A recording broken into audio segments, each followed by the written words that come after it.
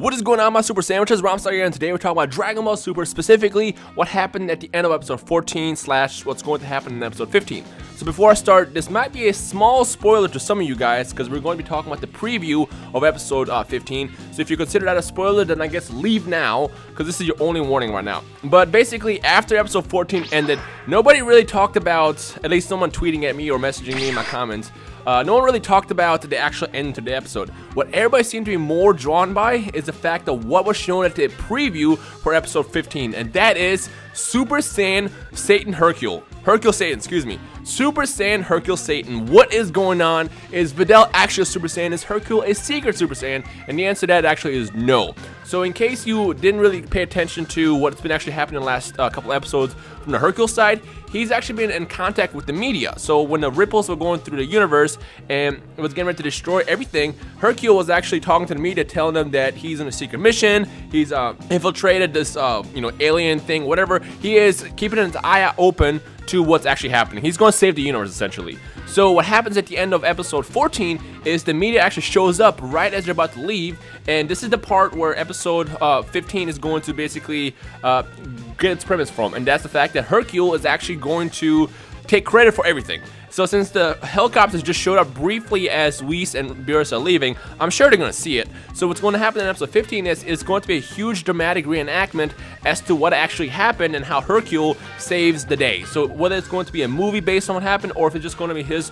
form of story saying, hey, yeah, this is what happened. I was up in space with Beerus. I was a Super Saiyan or superhuman, whatever you want to call it. And, you know, I was a Golden Warrior and I saved the universe from this god of destruction. Uh, fear not, I'm here. And that's essentially what's going to happen in episode 15. A lot of people are like really asking, you know, I'm surprised that actually this many people are asking um, whether or not he was a Super Saiyan. Of course he's not. I mean, he's done this before. If you guys remember when uh, he defeated Cell, they had that whole reenactment in the anime where, you know, he basically foretold how the fight went. And they're going to do the exact same thing this time around.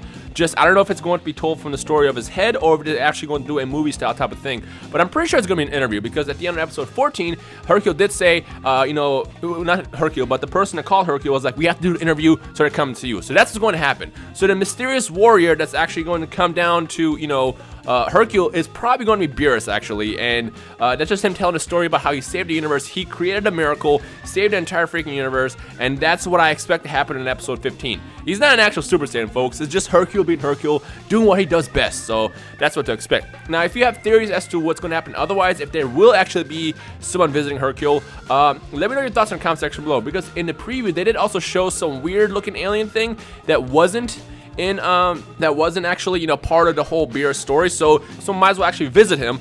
But for the most part the whole Super Saiyan thing is just him telling his perspective from how he saved the universe when really it was Goku when really it was actually just Beerus falling asleep which I love by the way. That was awesome. How he just you know almost destroyed earth but then fell asleep mid blast and I thought that was funny. But yeah so that's what I think is going to happen in episode 15 what do you guys think? So yeah let me know your thoughts in the comment section below. Who's excited? Uh, I know a lot of people might not like episode 15 that much just because this is the part where we're getting ready to jump to Resurrection F. So it's kind of slow and, you know, we're going to be build up, building up to the story. And not much is going to happen for the next couple episodes. But I think episode 15 is going to be hilarious. And that's what I'm looking forward to the most. Because that Dragon Ball humor that's always existed is probably going to be showing up its maximum potential in this episode. And I'm really hoping that even Jaco shows up in episode 15. But I really doubt that we're going to see him this soon. So yeah. Because we do know that in episode I think it was uh, 18, 19, something like that. That's when Jaco actually shows up and visits Bulma. So I don't think he's going to appear anytime before then. But then again, who knows? Uh, all we can do is just kind of wait and see what happens next Sunday. But yeah.